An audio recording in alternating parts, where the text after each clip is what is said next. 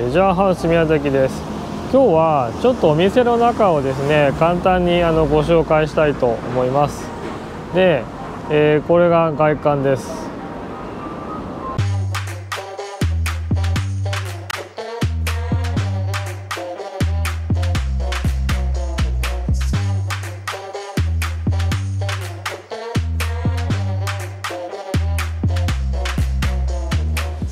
こんな感じ。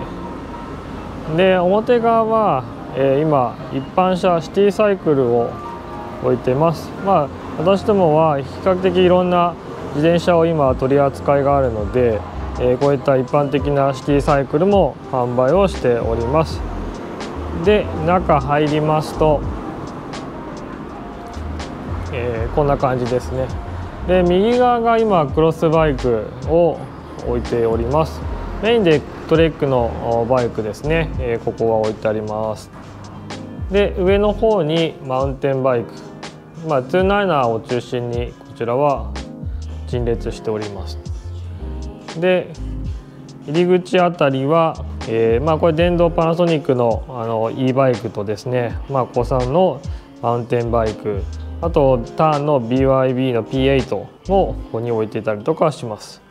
で反対側がこちらが今マウンテンバイクの277の残りとあとこちら側に、えー、今小径車、まあ、ホールディングバイクですね、えー、ターンとダホンをこのように今展示しております。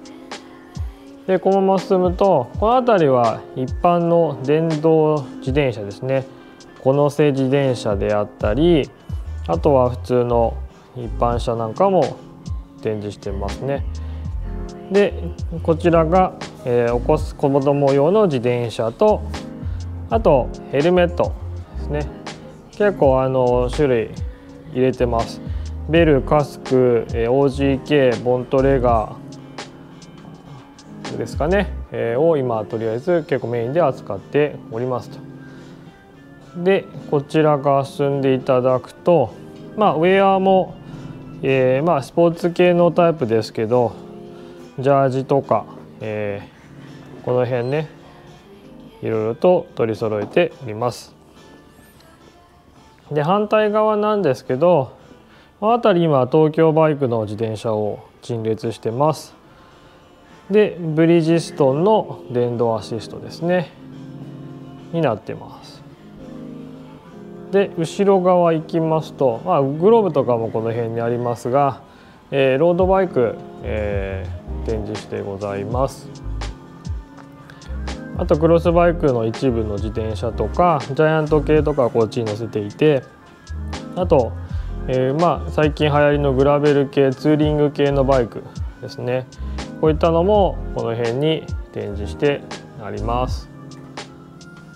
でカウンターのこの辺がカウンターなんですけどカウンターを通っていただくと、えー、鍵のコーナーですね。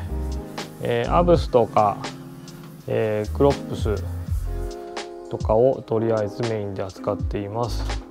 あとここに、えー、さとね、えー、バイクパッキング用のバッグも置いてあります。あとサイクルコンピューターデザインのコーナーとあと上はあのバックパックですね。オールトリーブであったりドイタなんかも扱ってあります。でその隣がシューズコーナーです。シューズも、えーまあ、ジローシマノシディモントレガーと、えー、とりあえずは取り扱いがあります。で横側に行くと、まあ、ライトコーナーですね。この辺のライトも結構種類はございます。レザインとボントレガー、えー、そしてキャットアイとこの辺が今メインであとブラックバンとかえー、も取り扱いがあります。で横行くとサドルですね、えーまあ、あとはパーツ系、え、サドルバッグとかボトルケージとかいったものもあります。で上側に今ホイールを、え、陳列していて基本的にはボントレ側のホイールが多いですね。えー、アレックスリムも2組ぐらいありますが基本的にはボントレガーの商品が多いと思います。でその横に行くとタイヤチューブ。この辺はハイエンド系のものが陳列してあります。で、まあ、後ろ側ですね。こっち側どちらかマウンテンバイクとかクロスバイクとかのタイヤですね。あと各種パーツ、まあ、バーエンドとあバーテープね。バーテープグリップ等ですね。あとは、えー、修理キット工具関係と、えー、ケミカル系ですね、まあ、ワコスさんとか、えー、あとはマッコフなんかも最近取り扱っております。全体的に、えー、こんな感じです。